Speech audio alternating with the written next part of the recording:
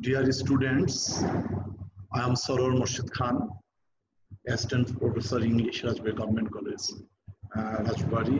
Welcome to online class conducted by Rajbari Government College. In my previous class, I was discussing on the historic 7th March speech of Bangabandhu Sheikh Mujibur Rahman. The historic 7th March's speech of Bang Bangabandhu Sheikh Mujibur Rahman is the main inspiration of our liberation war. It bears a great importance in our national life. This fiery speech is a part of the world's documentary heritage. Bangabandhu delivered this speech to ensure the freedom of the people of then East Pakistan. Bangabandhu declared, this struggle is for our freedom. This is peace is for our independence.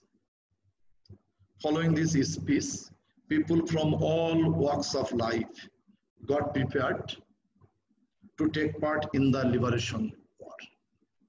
Dear students, the speech of 7th March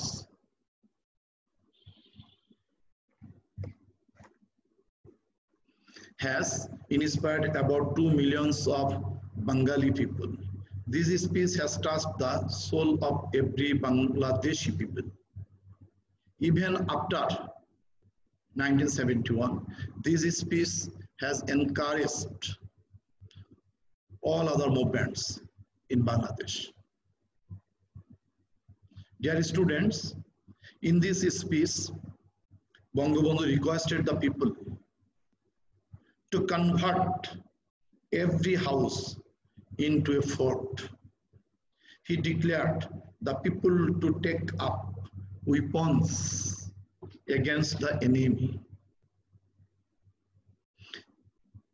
In his speech, Bangabandhu described about cruel activities of West Pakistan rulers. The importance of 7th March speech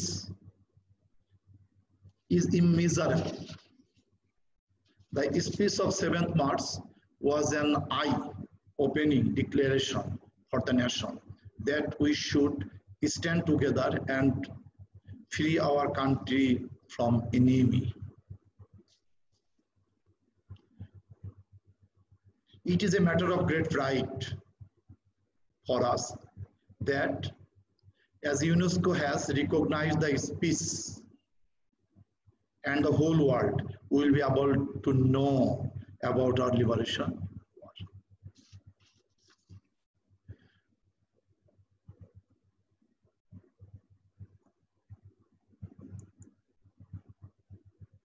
Dear students, now I would like to uh, read from the text. After the assembly session was rocked, the people of this country protested.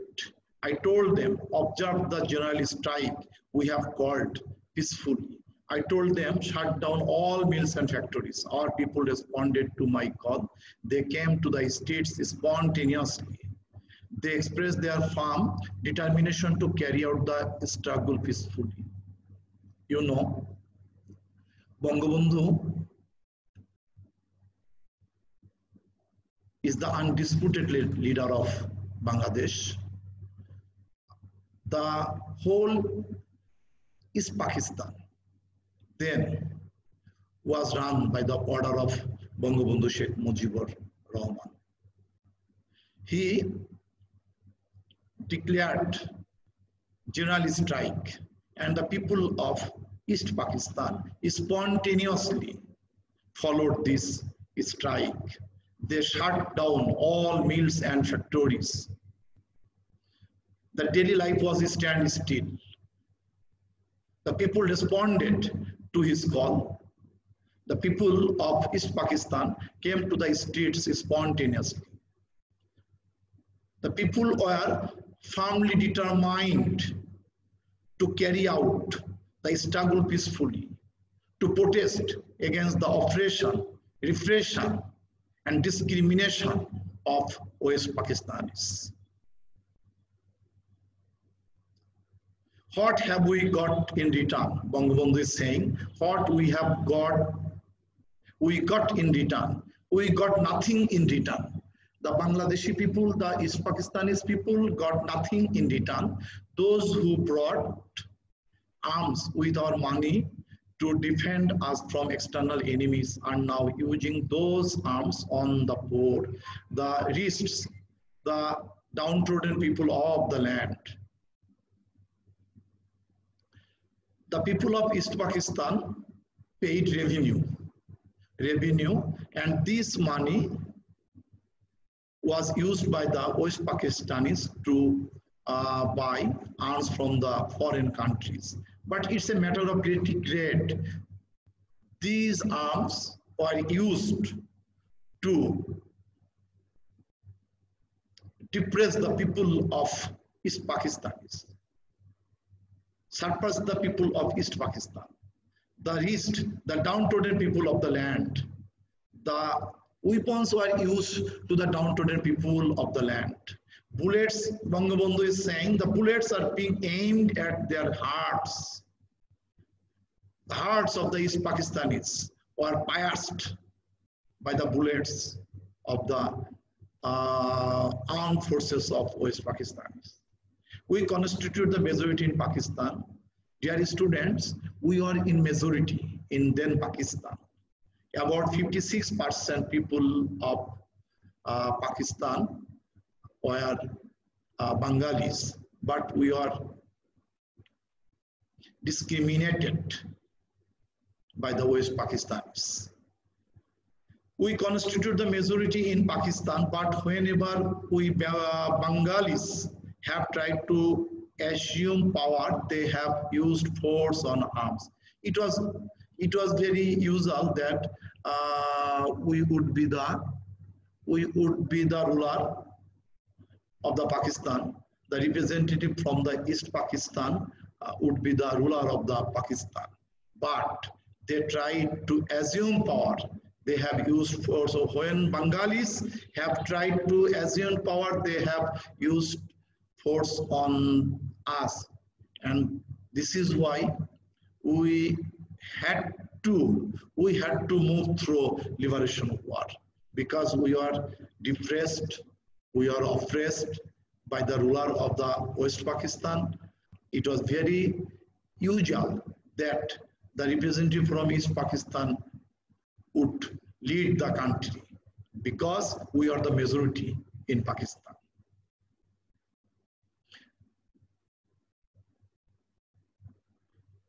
Dear students, Bangabandhu is saying, I have had a talk with Mr. Yahya Khan. Bangabandhu uh, like to compromise. Bangabandhu was very reasonable. And so he uh, uh, had talked with Mr. Yahya Khan to solve the problem, to restore uh, democracy, to uh, build up the constitution of the Pakistan. Bangabandhu saying, I told him, Bangabandhu told Mr. Yahya, Mr. Yahya, you are the president of Pakistan. Come and observe how the poor people of my country are being mowed down with bullets. Come and see how our mothers are being deprived of their children, how my people are being massacred. Uh, Bangabandhu uh, tried his best to talk with Mr. Yahya Khan to solve the problem, to compensate the matter. Uh, and he told Mr. Yahya uh, to um, restore to restore democracy, to constitute, uh, to make a constitution for the people of Pakistan. And the saying, Mr. Yahya, you are the president of Pakistan. He's addressing uh, Mr. Yahya as, as, the president of Pakistan. Uh, come and observe come and observe. He is inviting Mr. Yahya to come and see how the poor people, how the deprived people of his country are being mowed down with bullets, how the poor people are being dead, are, uh, are being died uh, by the bullets of the West Pakistanis. Come and see how our mothers are being deprived of their children. The mothers were losing their children and Bangabandhu, Bangabandhu is uh, inviting Mr. Yahya to see the real phenomenon, how the mothers are being deprived of their children, how the people of East Pakistan are being massacred. He is inviting Mr. Uh, to observe, to watch the matter, to watch the real phenomenon of Pakistan. Come, observe, and only then pass a judgment on what is going on. Bangabandhu is saying, please come and observe, and only then you pass your judgment on what is going on. If you come, you will uh, the, you will see the um, real phenomenon of the East Pakistan. The, uh, the people were uh, the people of East Pakistan were being died by the bullet of the uh, rulers of the West Pakistan. He has apparently said that I had agreed to attend a roundtable conference on the 10th March. Mr. Yahya apparent, uh, has apparently said that he had agreed to attend a roundtable conference on the 10th March. Didn't I say a long time back, what is the point of another roundtable conference? Bangabandhu is saying that the demand has already been focused. The demand has already been said. Then what is the point of another roundtable conference? What is the necessary necessity of another roundtable conference? Who will see? Who will I see to it? Bangabandhu is saying that uh, whom whom uh, did he sit with? Whom did he sit with? Should I sit with those who have shed the blood of my people? Bangabandhu is saying that he is not interested. He is not interested to sit down with the people who shed the blood of his people, who acted as the butcher he has suddenly dissolved the assembly without carrying out any discussions with me. Mr. Yahya suddenly dissolved the assembly without any discussions with Bangabandhu Sheikh Mujibur Rahman. Bangabandhu Sheikh Mujibur Rahman was the elected leader, was the elected leader of Pakistan. Uh, he got brute majority, but Mr. Yahya avoided Bangabandhu Sheikh Mujibur Rahman. And he suddenly dissolved the assembly without any discussion with Bangabandhu Sheikh Mujibur Rahman. After sitting in a secret meeting for five hours, he gave a speech where he has put all the blame on me. Bangabandhu is saying that Mr. Yahya uh, sat down in a secret meeting for five hours. And from this meeting, they plot a conspiracy against Bangabandhu Sheikh Mujibur Rahman. And they, uh, they blamed Bangabandhu Sheikh Mujibur Rahman for, for the anarchy, for the anarchy, for the violence of the Pakistan. He has even blamed the Bengali people. Bangabandhu is saying that the blame was not only to Bangabandhu Sheikh Mujibur Rahman, the blame was also to the people of East Pakistan. It was, of course, lame blame, lame blame. They understood that Bangabandhu was then stood as the as the uh, as not only the leader of East Pakistan, but also the leader of the Indian subcontinent or the leader of the world. And so, uh, they made a conspiracy against Bangabandhu Sheikh Mujibur Rahman. Bangabandhu is saying, my brothers, I have also said, I have also told you that Bangabandhu was very much affectionate to the people of Pakistan. He considered the people of Pakistan as his brothers, and he is addressing he he is addressing uh, usually is addressing spontaneously my brothers from his heart of heart. The assembly has been called into session on 15th March, 15th uh, to 25th of March. The assembly has been called into session on the 25th of March. Yahya Khan again called a session uh, on 25th March, but the blood spilled on our streets has not yet dried. The situation was not favorable to the session of the assembly, and so Bangabandhu is saying, but the blood spilled on our streets has not yet dried. About the 10th of this month, I have told them Mujibur Rahman won't join the roundtable conference because that would mean waiting over the blood that has been shed. Bangabandhu was all for the was all for the people of the East Pakistan. He was uh, in favor of the people of Pakistan. Even uh, before his death, Bangabandhu uh, devoted, Bangabandhu devoted his personal life. Bangabandhu devoted his uh, everything to the country, uh, to our country and to the people of Bangladesh. And about the 10th of this month, I have told them Mujibur Rahman won't join the roundtable conference because that would mean waiting over the blood that has been shed. He didn't want, he did, didn't want uh, to join the roundtable conference on that situation, on that circumstances, on that uh, phenomenon. Although you have called the assembly into session, you will have to listen to my demands first. Bangabandhu, Bangabandhu demanded that they had to listen to the demand of Bangabandhu first. You will have to withdraw martial law. Then the martial law was going on. Bangabandhu demanded to withdraw the martial law because uh, amidst the situation of martial law, it is quite impossible to join the session called by Yahya Khan. You will have to return all army personnel uh, to their barracks.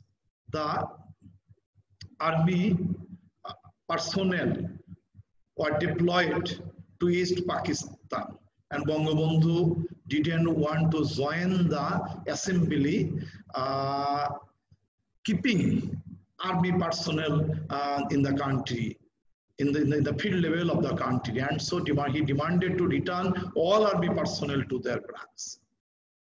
You will have to investigate the way our people have been murdered. You have to investigate the way our people have murdered.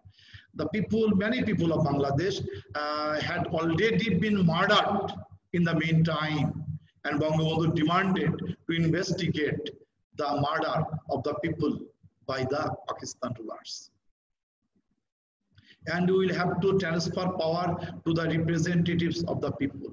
Bangabandhu was very much democratic, was very much democratic. He wanted to restore democracy.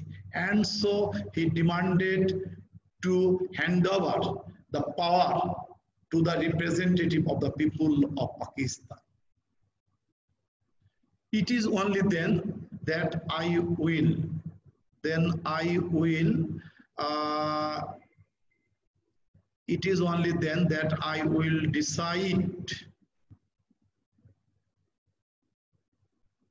it is only then that I will decide whatever we will take our seats in the uh, assembly or not.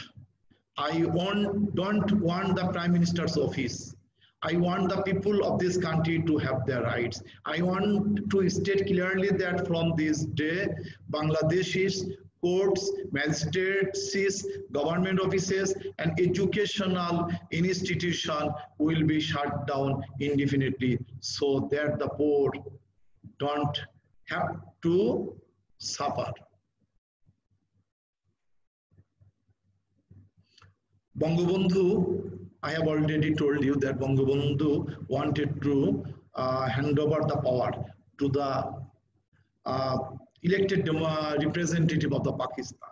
It is only then that I will decide whatever we will take our seats in the assembly or not. And Bangabandhu uh, then, then would decide whatever he would uh, take uh, their seats in the assembly or, uh, or not.